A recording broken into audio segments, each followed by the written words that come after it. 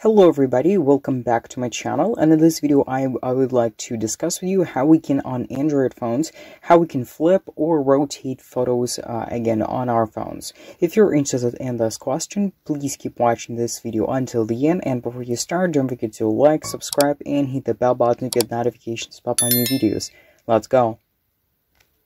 And so now I just gonna go into my gallery and show you an example with the, uh, I would say, system editor that's actually on my phone already. And so uh, for this, I'm gonna choose a specific photo, for example, that I want to flip or rotate. Then I need to find this little uh, like pencil uh, icon and I need to press on it. So this basically, I'm going to enter the phone's editor of my photos. And so basically here, I already have some of the uh, buttons that I need. So first is going to be obviously rotating, as you can see.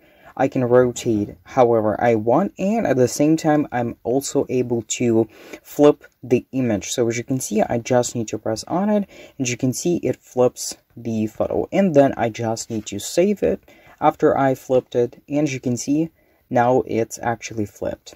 But what if you don't have uh, such editor, or maybe you have some editor, but it does not have any kind of relevant features. So for this, you can go simply to Play Store and find lots and lots of free available photo and video editors that you can download and uh, add it to your photo and then delete if you don't need them any longer.